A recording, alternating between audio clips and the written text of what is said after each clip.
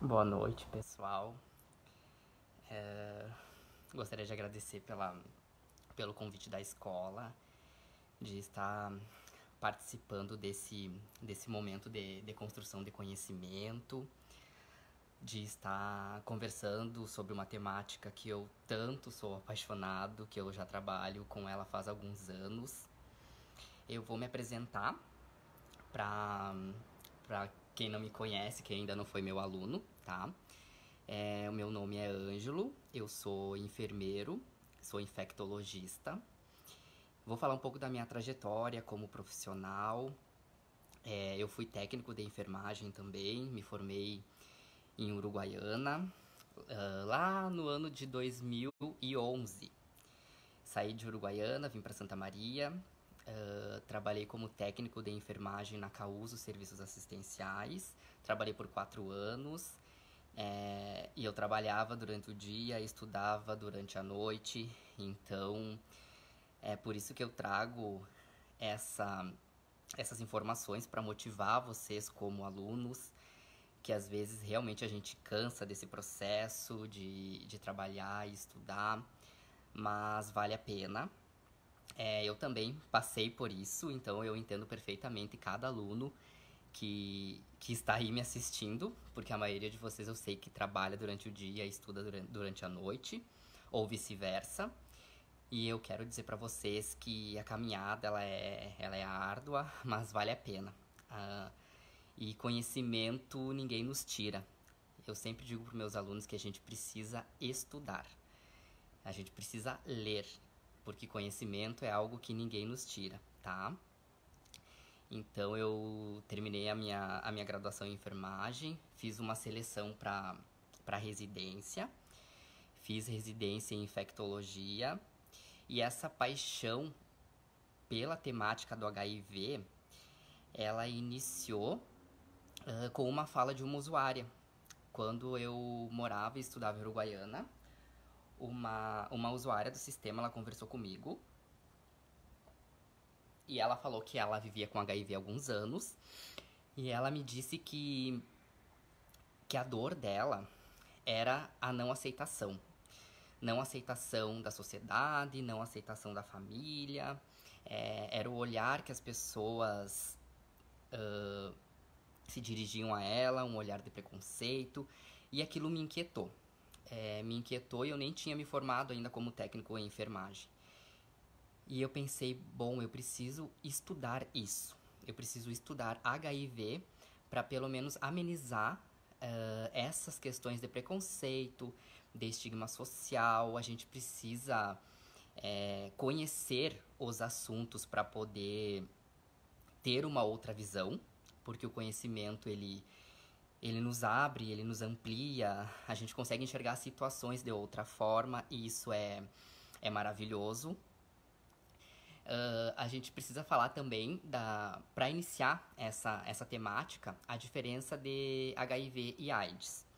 A gente escuta as pessoas comentando: ah, uh, o fulano tem AIDS, vou pegar AIDS. Ninguém pega AIDS, tá? As pessoas elas se com, se infectam com HIV. O HIV, ele é o vírus. Então, se a pessoa ela for infectada pelo HIV e ela não realizar o tratamento, sim, aí ela vai evoluir para uma uh, doença que a gente conhece ela como AIDS. Então, são pequenas situações que a gente precisa se desconstruir ao longo da vida. E quando a gente escuta alguém falando, a gente que trabalha com a temática, que as pessoas falam muito de AIDS, AIDS, AIDS, hoje em dia, tá? 2020, a gente sabe que só entra, só vai a óbito por AIDS quem realmente não adere a tratamento, tá? Que isso eu vou falar daqui a pouco. Então eu trouxe uns dados para mostrar para vocês a grandiosidade é, dessa temática. Então, no, no mundo, a gente tem 37 milhões de pessoas que vivem com HIV, tá? No Brasil, a gente tem 866 mil. E no Rio Grande do Sul, nós temos 83 mil pessoas que vivem com HIV. Lembrando que esses dados, eles são bem maiores, eles são muito maiores do que esses que eu falei para vocês. Porque a gente tem muitas pessoas que vivem com HIV e ainda não descobriram essa infecção. Então já estão infectadas e não sabem que vivem com o vírus. Por isso que é tão importante a gente falar de testagem rápida, tá? Eu não sei se tá bom o áudio para vocês, a imagem. Tá tudo tranquilo? Estão conseguindo me ouvir bem e, e me enxergar bem? A imagem tá boa?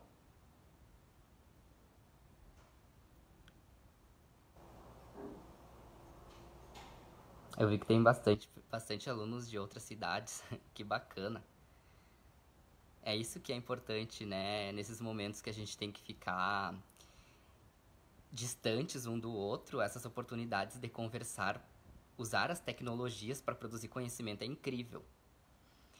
Então, pessoal, voltando, é, para falar um pouco da descoberta do vírus do, do HIV, a gente sabe que essa infecção foi descoberta lá em meados dos anos 80, quando começou a aparecer os primeiros casos, e esses primeiros casos eles não eram considerados casos de, de HIV e sim de AIDS, porque naquela época não tinha nenhuma possibilidade de, de tratamento ou de descoberta do, do diagnóstico precocemente. Então as pessoas elas adoeciam por conta dessas, dessas questões, tá? Não tinha tratamento, uh, não tinha testagem rápida. Então naquela época realmente era uma incógnita para os profissionais de saúde, porque a gente não sabia exatamente o que estava acontecendo naquela época. E quando a gente fala de, de HIV, com certeza vocês já ouviram algum, algum comentário preconceituoso, alguém que falou alguma frase que incomoda vocês, ah, alguma frase que tu percebe que é cheia de preconceito. É, as pessoas ainda falam que HIV é uma sentença de morte, que quem se infectou com HIV vai evoluir para óbito. E a gente sabe que hoje em dia a, as políticas públicas de saúde elas nos mostram que as pessoas que vivem com HIV elas têm qualidade de vida e elas vivem tanto quanto uma pessoa que não tem nenhum tipo de, de infecção. Tem um estudo que eu sempre levo para discussão em sala de aula com os meus alunos, que é um estudo que compara é, os homens, homens que vivem com HIV eles vivem muito mais do que homens que não têm a infecção. E por quê? Por que desse, dessa descoberta desse estudo? Porque a gente sabe que os homens que vivem com HIV, eles frequentam o infectologista ou eles frequentam o médico a cada seis meses. E a gente sabe que os homens, na maioria das vezes, eles vão procurar atendimento médico quando eles uh, sentem algum tipo de dor. Então, por isso que essa estatística nos mostra, e esse estudo nos mostra, que homens que vivem com infecção, eles têm uma maior qualidade de vida e uma maior sobrevida também, tá? Uh, eu vi que um aluno falou ali de aidético. Aidético é uma palavra que a gente não utiliza mais, tá? É, aidético é algo que, que ofende, que machuca a pessoa que vive com HIV. Hoje a gente fala pessoa que vive com HIV. É o termo adequado pela UNAIDS. Então, é isso que a gente vai desconstruindo ao longo do, do tempo e a gente só se desconstrói, pessoal, é através do conhecimento. É eu estar em sala de aula, eu conversando com as pessoas e é assim que a gente consegue construir e se desconstruir de muitas questões que a gente escuta as pessoas falando sobre, sobre o HIV, tá? Então, por que que surgiu essa ideia de, de grupo de risco? No início da infecção, a gente falava muito de grupo de risco. No início da infecção, lá nos anos 80, tinha uma sigla. Então, naquela época, as pessoas falavam muito de 5Hs. O que, que eram os 5Hs? Bom, 5Hs era um grupo de pessoas que se infectaram com o vírus lá em meados dos anos 80. E quem eram essas pessoas? Eram homossexuais, haitianos, hemofílicos, usuários de heroína e os rockers. Rockers, na verdade, é um termo em inglês utilizado para pessoa que trabalha com o sexo. Então, naquela época, essas pessoas elas se infectaram. Então, isso permeia até os dias atuais. Então, naquela época se criou essa imagem de que essas pessoas, somente essas pessoas se infectavam com o HIV. Hoje a gente sabe que esse perfil ele mudou. E esse perfil ele começou a mudar logo no, nos anos 90. Por quê? Porque mudou o perfil epidemiológico dessa, dessa situação de saúde. O que, que aconteceu? As pessoas que, que eram desse grupo de risco naquela época, principalmente os usuários de heroína. Eles começaram a infectar as mulheres, ok? Quando as mulheres começaram a aparecer com a infecção pelo HIV, elas começaram a infectar os seus filhos, ou seja, elas começaram a infectar crianças por transmissão vertical. Transmissão vertical é quando a, a infecção ela passa de mãe para o bebê. Lembrando que essa infecção ela vai passar pelo leite materno, quando a criança ela, ela nasce, ou pelos fluidos vaginais durante o parto. É, pessoal, levando, levando em consideração que a mulher que faz o tratamento, o tratamento ideal, faz o tratamento sem falha, essa mulher ela pode ter um parto vaginal. Aqui no Brasil isso pode acontecer. Por quê? Porque essa mulher ela vai estar com a carga viral indetectável. Quando uma pessoa vive com HIV e tem uma carga viral indetectável, ela não vai transmitir a infecção. Então a gente sabe que hoje em dia a gente tem a, as terapias antirretrovirais. Outra coisa também que a gente não pode falar é coquetel. Uh, a gente escuta muitas pessoas falando, ah, porque tem que tomar coquetel quem tem AIDS. Não, então a gente fala de terapia antirretroviral, que é o termo mais adequado nos dias atuais, tá? A gente não fala mais coquetel. Por que, que hoje a gente fala em terapia antirretroviral? No início da infecção, se falava um coquetel porque era as pessoas elas, elas tinham que ingerir 20 comprimidos por dia. Então, pensem, 20 comprimidos por dia. Hoje em dia, a pessoa que vive com o HIV, ela precisa ingerir apenas dois comprimidos por dia. E isso faz com que ela tenha uma carga viral indetectável, tá? Lembrando que carga viral indetectável, ela não vai transmitir essa infecção, ok? Então esse esse perfil epidemiológico ele foi se mudando ao longo do tempo então, lá nos anos 80, a gente falava de, de grupo de risco, tá? Isso foi se modificando, depois passou para comportamento de risco.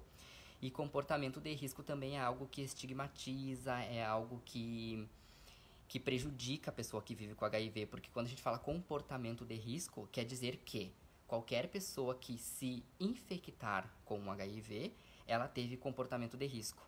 Ou seja, ela se comportou de forma inadequada, e não é assim que funciona. A gente sabe que qualquer pessoa que tem uma vida sexual ativa e não utiliza o preservativo, ela está suscetível à infecção. Então a gente não pode falar de comportamento de risco. Hoje em dia a gente fala de vulnerabilidade, ou seja, qualquer um de nós que tem uma vida sexual ativa está vulnerável à infecção desde que não se proteja, desde que não use o preservativo, tá? perguntaram aqui de qual cidade que eu sou. Então, eu sou professor do SEG aqui de Santa Maria, tá? Sou professor faz um ano e meio já na instituição. Inclusive, quero mandar um, um abraço para os meus colegas, que eu tenho, eu tenho muito orgulho de trabalhar nessa, nessa instituição, porque é, é como se fosse uma família. O quadro de docentes é incrível, a gente se sente muito bem quando, quando compartilha. Gosto muito dos meus colegas, eu acho que, que é um lugar muito bom de, de ser docente. Principalmente a nossa diretora, a Priscila, que é muito motivadora, nos motiva a cada, a cada momento. Inclusive, agora ela mandou uma mensagem muito motivacional que deu um up, dá um up no professor para realmente acreditar na educação e acreditar que, que a educação muda o mundo. Isso é, isso é incrível. Então, pessoal, voltando aqui no assunto, é, quando a gente fala de diagnóstico, diagnóstico de HIV, uh, ah, hoje em dia a gente tem a questão de teste rápido, então é muito melhor a gente descobrir a infecção cedo do que ficar doente, tá? Por quê? Porque hoje nós temos os testes rápidos. Esses testes rápidos, o nome parece que dá a, a impressão de que tem que ser um teste feito rápido. E não é assim que funciona essa nomenclatura do teste rápido. Por que, que é teste rápido? Porque eu consigo encaminhar esse paciente para tratamento rápido se o teste der positivo, se der reagente. Então, teste rápido não é porque eu vou atender esse paciente em 5 minutos, vou fazer o teste e vou liberar ele com o resultado. Não. Teste rápido é para eu conseguir encaminhar esse paciente para tratamento rápido. Por quê? Porque eu sei que a pessoa que descobre infecção, hoje, 2020, ela vai iniciar com antirretroviral. Em 2014, isso não acontecia. Em 2014, quem é que aderia ao, ao tratamento antirretroviral? Eram as mulheres gestantes e as pessoas que já tinham adoecido de AIDS. Esse protocolo, ele mudou em 2016. Então, a partir de 2016, todas as pessoas que se descobrem vivendo com HIV, elas vão iniciar com a terapia antirretroviral. Por que, que esse protocolo ele mudou? Porque eu preciso que esse paciente ele fique uh, com uma qualidade de vida boa, excelente. Ele precisa é, ter esse tratamento para não evoluir para AIDS. Então, por isso que esse protocolo mudou. Porque os estudos científicos, eles nos trouxeram essas informações de que é melhor a gente iniciar a terapia antirretroviral cedo e não desenvolver para AIDS, tá? Por quê? Porque a gente sabe que se a gente atender muitos pacientes com AIDS, o que, que vai acontecer com o nosso sistema público? Vai sobrecarregar. Então é melhor a gente trabalhar com as pessoas que tomam o seu antirretroviral e têm uma vida normal, para não adoecer por AIDS, tá? Então, o diagnóstico são duas formas que a gente conhece hoje no sistema público de saúde: o teste rápido e o teste laboratorial. O teste laboratorial ele demora demora algumas horas para sair o resultado, então a gente prefere que que as pessoas elas se testem uh, por forma de teste rápido, porque é um teste que é 99% de certeza, tá? É um teste fidedigno, então vale a pena a pessoa se testar, porque como eu falei, é melhor a gente descobrir cedo a infecção do que descobrir tardiamente. Outra frase que a gente escuta muito na sociedade, que as pessoas comentam muito é: "Ah, quem procura acha". Vários alunos meus Uh, nos encontros eles falam isso. Ah, quem procura acha, professor. Não. Se falando de HIV, a gente tem que procurar. E a gente tem que achar. Tá? Então, se falando de HIV, a gente tem que procurar e a gente tem que achar o quanto antes para poder entrar em tratamento e ter uma qualidade de vida normal. Hoje a gente fala de, de HIV como uma, uma situação crônica. Então, hoje o HIV é uma doença crônica, assim como diabetes, como hipertensão. E por que que as pessoas que vivem com diabetes, elas falam que, ela, que elas têm diabetes? E as pessoas que vivem com HIV, elas têm o receio de comentar com as outras pessoas que elas vivem com HIV. Por quê? Porque a gente sabe que a principal forma de transmissão do HIV é por via sexual. E a gente não tem o hábito de conversar sobre esses assuntos. Então é por isso que por isso que as pessoas, elas têm essa, esse medo de falar que vivem com HIV, porque a gente sabe que a transmissão ela é feita por via sexual, então tem toda uma questão social atrás disso. As pessoas, elas não conversam sobre sexualidade, então a gente cresce uh, ouvindo que sexo é errado ou que questão sexual não pode ser comentada, não pode ser conversada, e a gente precisa colocar na roda esses assuntos, pessoal. Porque se a gente tivesse uma educação uh, sexual desde da infância, claro que para cada idade vai ter o seu foco, tá? Então, se a gente tivesse uma educação, ou até mesmo a conversa entre pais e filhos, é, esse perfil ele teria se modificado, porque talvez as pessoas tivessem uma forma mais ampla de conversar sobre esses assuntos, e não com tanto medo, tá? Então, a gente sabe que isso é uma prática que todo mundo faz, então a gente precisa conversar sobre, ok? O tratamento para essa infecção. É, eu sou muito defensor do sistema público de saúde. É, eu defendo muito esse sistema. E se falando de, de HIV, é, o sistema público de saúde ele oferta esse tratamento. Então esse tratamento ele é gratuito aqui no Brasil. E, e o tratamento do HIV do Brasil ele é referência no mundo. Então, é, o Brasil é referência para tratamento de HIV em todo o planeta, porque aqui nós temos um sistema público de saúde que oferta esse medicamento para as pessoas que vivem com HIV. Para vocês terem uma noção, o valor de um antirretroviral aqui no Brasil, tá? No Brasil e no mundo, é 6 mil reais. Então, cada pessoa que vive com HIV ela teria que pagar pelo seu medicamento se não existisse o SUS. E esse medicamento ele custa 6 mil reais. Fora do país, ou seja, fora do Brasil, as pessoas elas não têm esse acesso. Então elas precisam realmente comprar esses medicamentos. Eu vi uma pergunta ali quais são os principais sintomas do HIV. É, HIV não tem sintoma, tá? A gente fala de sintomas de AIDS. O HIV ele é uma infecção muito silenciosa, ele não, não apresenta nenhum tipo de sintoma. Então, por isso que eu falo muito da questão de testagem. É, a gente precisa se testar. Eu preciso saber a sorologia. Não posso ficar esperando um sintoma. Porque quando o meu corpo ele apresentar um sintoma, esse sintoma ele não vai ser de HIV. Esse sintoma ele vai ser de AIDS. Porque HIV não tem sintomas que tem sintomas é a infecção por AIDS, que é a evolução do HIV, tá? Então, esse tratamento ele é ofertado no sistema público de saúde. É...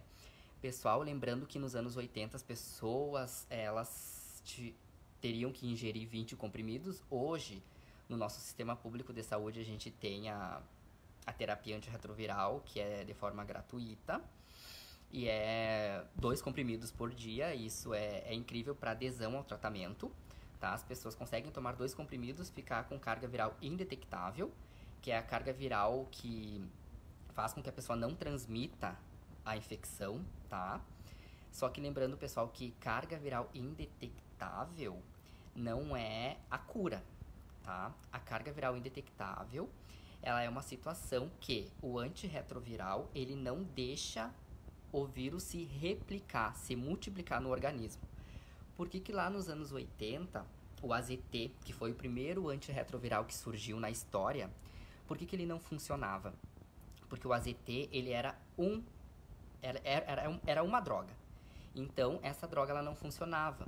Por quê? Porque a gente precisa de no mínimo três drogas para fazer com que o HIV não se multiplique dentro do organismo humano. Então, naquela época, o AZT, ele era uma droga e ele não conseguia fazer esse trabalho dentro do organismo. Hoje a gente precisa utilizar três drogas diferentes para conseguir uh, bloquear esse vírus dentro do organismo e não deixar que ele se multiplique. Quando a gente fala de HIV, a gente lembra muito da questão do Cazuza. O Cazuza ele marcou é, o início da epidemia do HIV aqui no Brasil, porque o o Cazuza, ele, inclusive, ele saiu do país para tentar, um, tentar um tratamento particular que na época não funcionou, porque não existia tratamento a não ser o AZT. E as pessoas que, que faziam a ingesta desse AZT, elas ficavam pior do que sem tomar a medicação, porque era como se fosse uma, uma quimioterapia, tá? Uma quimioterapia de uns 10 anos atrás, que é aquela quimioterapia que causa náusea, que causa vômito, que hoje em dia também, com a evolução clínica, a gente não tem essa, esse tipo de, de efeito colateral, tá? Então, o Cazuza foi um marco. Então, as pessoas têm esse preconceito por conta da questão do Cazuza naquela época, porque ele realmente ele morreu, é, não escondeu de ninguém aquela situação dele, ele foi óbito por AIDS, tentou o tratamento fora do Brasil, não conseguiu, então, por isso que eu digo que a gente é muito privilegiado de estar em um país com saúde pública, com saúde de, de qualidade. A gente sabe que o nosso sistema, às vezes, ele tem, ele tem algumas falhas, mas qualquer sistema tem. Sistema privado também. Então, vocês coloquem a mão na consciência e pensem: bom, se não existisse é, os antirretrovirais pelo sistema público de saúde, quantas pessoas morreriam por AIDS, tá? Perguntaram aqui dos efeitos colaterais do uso desses medicamentos. É, essa pergunta é bem pertinente, porque em 2014, as pessoas que viviam com HIV, elas faziam o tratamento 3 em 1. 3 em 1 são três drogas em um comprimido só. Essa droga, é, essa terapia antirretroviral, ela causava muito efeito colateral. A pessoa, ela tinha que fazer essa ingesta de medicamento já deitada, porque se ela uh, tomasse o medicamento e levantasse do sofá e fosse até a cama, no meio do caminho ela ia cair porque causava muita alucinação, causava muita tontura. E isso em 2014, gente. Hoje em dia, em 2020, esse protocolo mudou. Hoje a gente tem doloteco no sistema público e é um, um avanço para o cuidado dessas pessoas que vivem com HIV. Então, em 2014, a gente tinha o 3 em 1, que era um comprimido só, porém causava muito efeito colateral. Hoje em dia a gente tem Hoje em dia a gente tem o o dolutegravir, que é um que é um antirretroviral potente, tá? E que não tem nenhum tipo de efeito colateral. Uh, no sistema público de saúde, a gente tem ainda o AZT, tá? O AZT, ele, ele é utilizado mais em forma de xarope, porque as crianças que nascem com algum tipo de exposição, elas precisam fazer uso de AZT ainda. E esse AZT, no início da infecção, nos anos 80, era comprimido. Aí a gente imagina como que nós profissionais da saúde vamos uh, fazer uma criança, um bebê, ingerir um comprimido. É quase impossível. Aí vocês pensem como que era a evolução clínica dessa criança que já nascia exposta ao HIV. Hoje a gente tem o AZT em xarope. Então a gente consegue ofertar o xarope para o recém-nascido logo após o parto e ele consegue não desenvolver a infecção, tá? Então, é através dessas, dessas informações, desses protocolos, é, desses medicamentos que são muito eficazes, as pessoas elas conseguem ter uma qualidade de vida. Quando eu preparei essa aula para vocês, é, eu posso ficar, gente, por horas falando de protocolo clínico, tá? Eu posso falar de carga viral, eu posso falar de CD4, eu posso falar de exames, é, do conhecimento clínico. Só que quando eu, eu falo de HIV, o que me incomoda muito na nossa assistência de enfermagem é a falta de empatia então não adianta eu dominar dominar a, tec, dominar a técnica, dominar o protocolo clínico que saiu em 2019, eu entender tudo de exame clínico, eu entender carga viral, CD4, eu sou assim o expert em uh, clínica. Mas o que falta é a gente ter, ter sensibilidade para poder tocar no paciente, para poder abraçar o paciente, para poder olhar para os olhos do paciente falar que está tudo bem. E quando o, a pessoa descobre um, um diagnóstico para HIV, não adianta eu funcionar um acesso venoso e administrar uma morfina nesse paciente. Porque a pessoa que descobre é, a infecção, ela sente dor de alma. Então é uma dor na alma, é uma tristeza que vai passar como? Como que essa tristeza alivia quando a gente está em dias não tão bons? É conversando, é quando a gente recebe um abraço, quando alguém toca na nossa mão. Então, por isso que eu fiz essa aula diferenciada para falar de HIV e falar o quanto as pessoas elas precisam de carinho, precisam de afeto. E nós como profissionais da saúde, a gente precisa nos manter, a gente precisa se manter sempre uh, humano. A, a gente sabe que na prática muitas vezes a gente cai na na assistência, a assistência é aquela rotina, mas pessoal, eu peço para vocês, e os meus alunos, eles me conhecem, e eu sempre estou falando isso em sala de aula. Não podemos deixar que a rotina tome conta do nosso lado humano.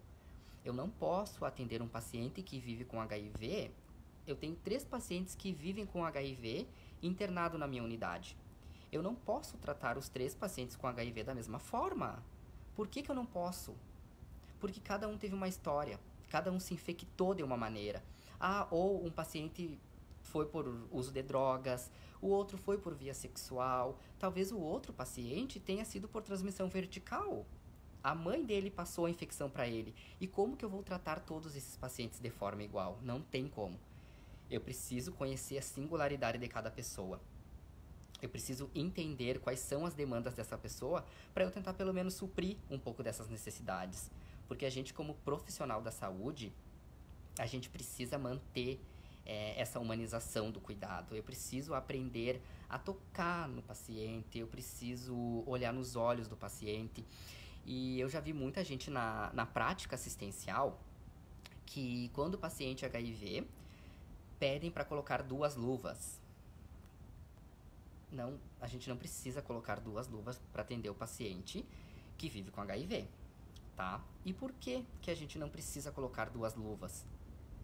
Porque quando a gente sabe que a pessoa vive com a infecção, não tem nenhum problema. Se eu encostar nele com uma luva, tá? Ou sem luva, eu não vou me, me infectar. Por quê? Porque a gente sabe que as vias de transmissão do HIV são o quê? Via sexual, transfusão de sangue e uh, pessoas que usam drogas injetáveis, tá? E de mãe para o bebê quando a mãe não faz o tratamento adequado. Essas são as formas de transmissão de HIV, gente. Então, eu posso abraçar uma pessoa que vive com HIV, eu posso beijar uma pessoa que vive com HIV, eu posso compartilhar prato, talher, é, eu posso ter contato com a pessoa que vive com HIV que a gente não vai se infectar. Não precisa ter medo. Então, por que eu não posso usar duas luvas? Vamos contextualizar uma situação. A gente trabalha num pronto-socorro, tá? Certo? trabalho no pronto-socorro e atendo num plantão de 12 horas. Vamos ver que atendo 100 pessoas no dia. Uma pessoa chega e me fala que vive com HIV. Uma, tá? E as outras 99 pessoas que eu atendi, eu não sei a sorologia dessa pessoa. Por que eu não coloquei duas luvas? É porque a pessoa foi sincera comigo e me falou que vive com a infecção eu vou colocar duas luvas? Não. Isso é preconceito. Isso é medo. Então a gente precisa ler, a gente precisa estudar. Eu tenho certeza que quem está assistindo essa live, a partir de hoje, uh, vai pensar diferente sobre HIV. Vai ter um olhar diferente, vai ter um olhar mais humanizado e não vai colocar duas luvas. E quando alguém pedir para vocês colocarem duas luvas para tocar no paciente que vive com HIV, vocês vão falar e vocês vão se defender, porque agora vocês são munidos de conhecimento. E quando a gente é munido de conhecimento, a gente consegue se defender. Vou dizer, não, não vou colocar duas luvas. Sabe por que, que eu não vou colocar duas luvas? Porque não tem problema. Eu não vou me infectar se eu pegar na mão desse paciente. Eu não vou me infectar se eu abraçar esse paciente. E outra, se eu colocar duas luvas, o risco de rasgar essa luva aumenta, porque vai ter atrito entre o látex da luva. E aí sim, aí sim eu posso realmente uh, rasgar a luva e ter contato com algo que eu não, não esperava, tá? E eu não falo de HIV, pessoal.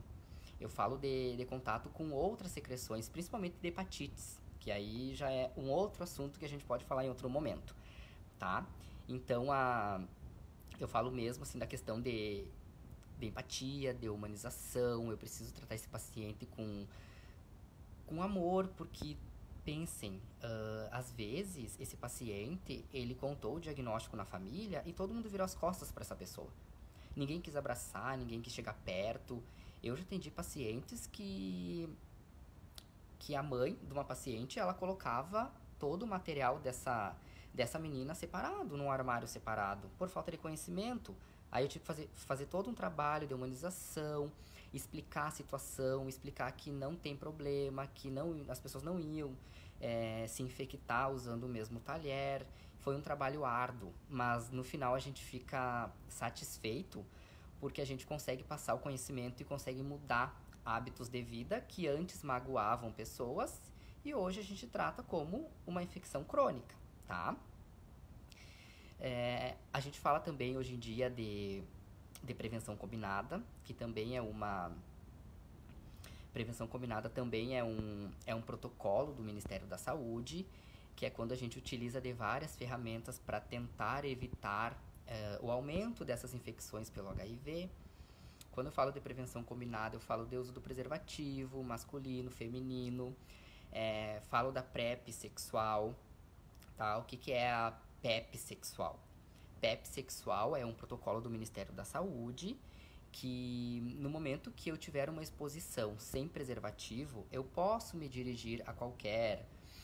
Uh, aqui em Santa Maria a gente sabe os pontos de atendimento da PEP sexual. No município de vocês eu não vou conseguir né, saber o nome, enfim, onde que procura. Mas é bom vocês saberem que existe, tá? Que existe no, no protocolo clínico das pessoas que vivem com HIV ou para prevenção do HIV a PEP sexual que é, na verdade, um, um tratamento de 28 dias que o paciente faz para evitar de se infectar com esse vírus. Então, ele teve uma exposição de risco, tá? Se expôs, não usou preservativo.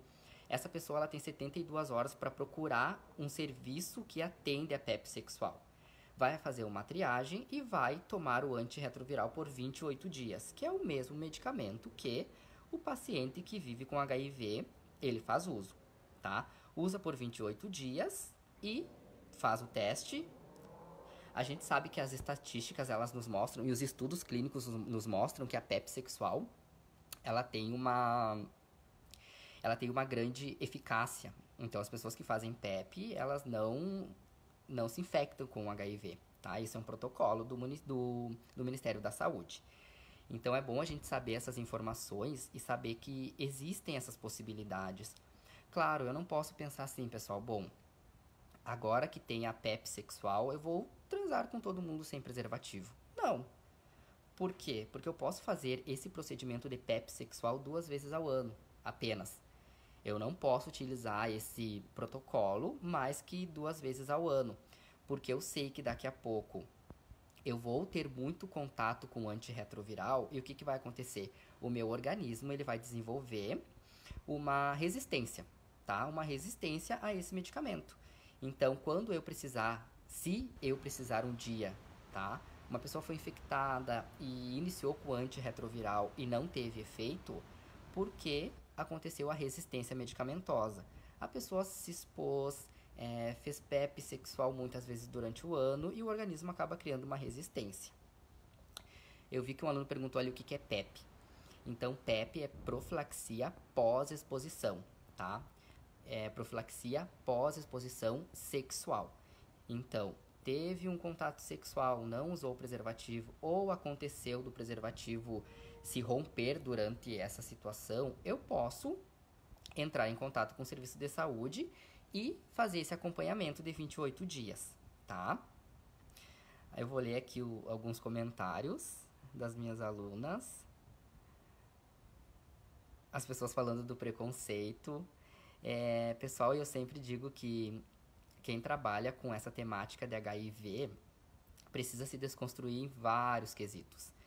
A gente trabalha com HIV, a gente não vê não vê as pessoas pela cor da pele, não vê a pessoa pelo, pela roupa que usa. E hoje em dia a gente fala que HIV não tem, não tem cara. Então a gente não consegue perceber quem tem e quem não tem a infecção.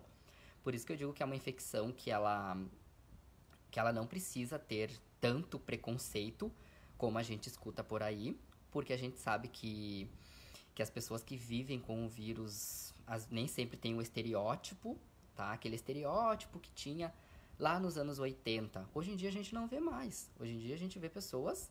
Eu que trabalhei muito na linha de frente na questão do HIV, a gente vê pessoas de todos os, os níveis sociais. Tá? Tem pessoa pobre, tem pessoa rica, tem pessoa classe média, que todas as pessoas elas, elas têm vida sexual ativa e elas, se não utilizarem um preservativo, estão suscetíveis, tá? Se falando então da, da questão da descoberta desse, desse vírus. Então esse vírus ele ele foi descoberto nos anos 80 e se a gente parar para pensar quanto uh, de evolução ele teve durante esses anos, tá? No início não tinha tratamento, tá? As pessoas elas acabavam morrendo de AIDS, uh, não tinha protocolo clínico, não tinha antirretroviral.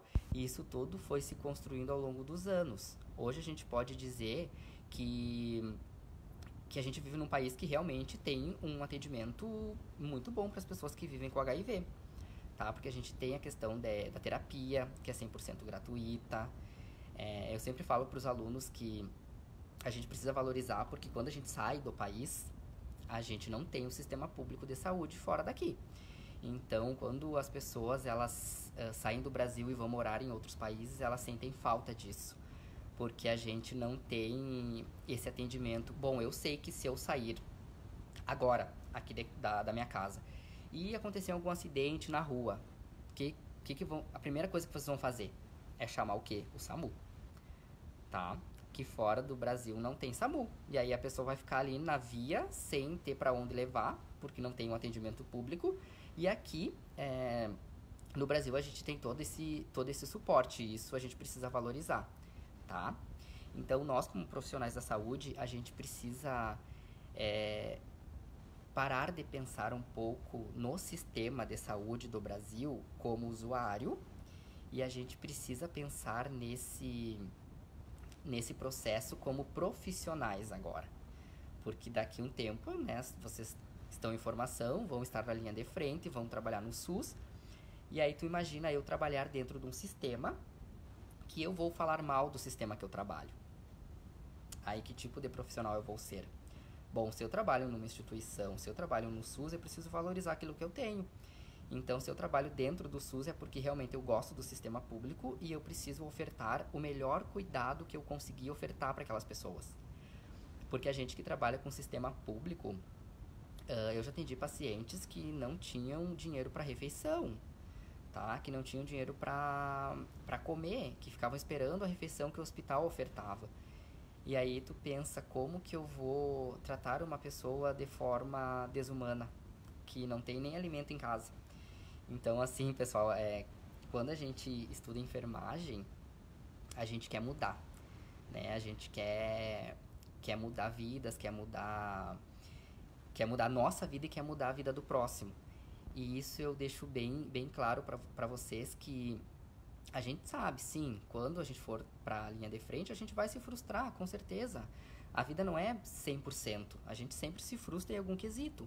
Mas o que eu quero dizer para vocês como alunos da instituição, que vocês não desistam, que vocês não desistam de, de ofertar um cuidado humano, que vocês não desistam de, de tratar a pessoa de forma digna, o que eu, eu crio um exercício na minha cabeça que eu sempre falo em sala de aula. Uh, bom, eu vou atender um paciente, tá? Se aquele paciente que eu estou atendendo fosse uma pessoa que eu gostasse muito, fosse minha mãe, meu pai, minha irmã, não sei, alguém que eu gostasse muito, como será que eu ia atender essa pessoa? E isso é um exercício que os meus alunos eles levam para a prática. E isso dá muito certo. Então, sempre que eu vou atender um paciente, eu penso, bom, poderia ser um dos meus que está naquela cama. Ou, pior, poderia ser eu. Porque a gente hoje está desse lado, tá? Mas daqui a pouco a gente está no lado de lá como paciente. E aí, como será que a gente gostaria que nos cuidasse? Né? Com certeza a gente gostaria que nos cuidassem de forma amigável, de forma educada, de forma que, que eu me sinta acolhido, é, e eu tive a oportunidade de trabalhar com essas pessoas que vivem com HIV nos dois níveis de atenção. E isso me ajudou a ter uma, uma qualidade de, de entendimento e mudou a minha vida como enfermeiro. Porque eu consegui perceber as pessoas que iniciavam o tratamento cedo e que aderiam a esse tratamento, viviam uma vida normal, sem nenhuma alteração, e eu também consegui atender os pacientes que adoeciam de AIDS. Então eu consegui enxergar em dois anos que eu fiz a minha formação em infectologia, é, em dois anos eu consegui perceber que o tratamento é a melhor, é o melhor caminho para se tratar a infecção pelo HIV. E por que essas pessoas que eu atendia, que já tinham adoecido de AIDS, uh, por que, que elas não aderiam ao tratamento? que, que vocês acham? Preconceito. Elas não contavam, Ou, ah, eu não vou tomar o medicamento porque daqui a pouco alguém da minha família vai enxergar eu tomando medicamento e vão descobrir e vão contar para todo mundo e, e ninguém mais vai me olhar, ninguém mais vai me abraçar e ninguém mais vai querer ser meu amigo. E era isso que eles me passavam quando, eu, quando eles adoeciam de AIDS. Que eles não usavam medicamento por conta do preconceito. O que as pessoas vão falar, ou ah, não vou mais me relacionar com ninguém porque ninguém mais vai me querer porque eu vivo com a infecção. E era esse a, o discurso que eles me, me traziam. E isso me fez estudar cada vez mais e ter esse olhar diferente, esse olhar mais humano, é, para eu ofertar um cuidado para essas pessoas. Que a maioria das pessoas que vivem com HIV e são vulneráveis à infecção, ou seja, que não têm acesso a estudo, que não têm acesso à saúde, elas não têm um suporte social para enfrentar essa situação. Então, o que, que acaba acontecendo? A pessoa que vive com HIV, daqui a pouco ela tem uma, uma vida tão vulnerável que ela vai o quê? Ela vai começar a usar droga. Tá? Ela vai começar a usar droga porque ela não tem afeto em casa, ela não tem contato, ela não tem um suporte, ela não tem alguém para abraçar, ela não tem alguém para compartilhar essa situação e daqui a pouco ela vai arrumar uma fuga e essa fuga ela vai ser nociva. E quando a gente fala de, de fuga nociva e HIV, o que que acontece? A pessoa ela já não começa a tomar os antirretrovirais. E aí sim, ela vai evoluir para AIDS, tá? É, pessoal, já já estou me encaminhando aqui pro, pro final, uh, questão de horário. Eu fico muito feliz de ter compartilhado esses, esses minutos, né, esses momentos com vocês. É, eu desejo que vocês realmente sejam profissionais diferenciados, porque é esse o nosso propósito da instituição, que a gente forme realmente profissionais técnicos, tá? Mas, acima de tudo, que a gente forme profissionais humanos, porque a gente precisa de gente humana na linha de frente. Porque eu preciso que vocês saiam dessa live diferente do que entraram, né? Eu sempre digo para os alunos: bom, pessoal, a gente conversou, né, em sala de aula, um exemplo, durante quatro horas. Bom, então eu tenho que sair daqui uma pessoa melhor.